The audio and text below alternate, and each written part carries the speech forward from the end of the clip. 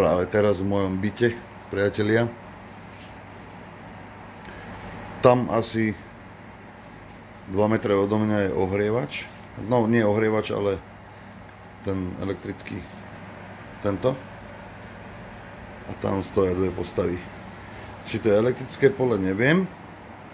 Ale dve z jednej aj druhej strany. Halo. Inak pred chvíľkou som hovoril, že či tu niekto s nami je a ak je, nech sa ukáže. A práve teraz som toto zachytil, takže... Ha. Pozrieme sa hen tam. Ale podľa mňa asi tu sú, alebo ako, lebo som pohol kamerou o 45 stupňov do, do strany a stále, teraz tam je jedna, pozrite. Vrátime sa a zase nič. Zase nič, aha. A teraz ho tam mám, idem pri neho, pri ten som pri ňom. A nič. Idem ďalej. Ukáž sa, keď tu si.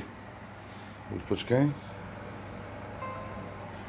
Ak tu niekto so mnou je v tejto miestnosti, tak nech sa mi ukáže. Aha. Na chodbe.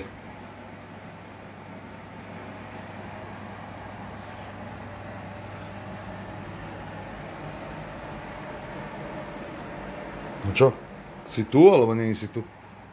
Tam si išiel na postel? Alebo na stôl? Kde si? Hm.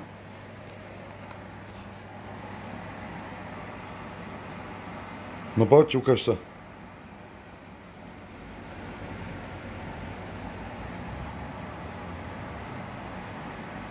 No halus, toto.